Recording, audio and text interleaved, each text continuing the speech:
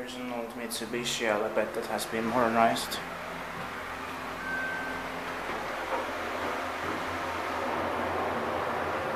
The original fan sound is still here.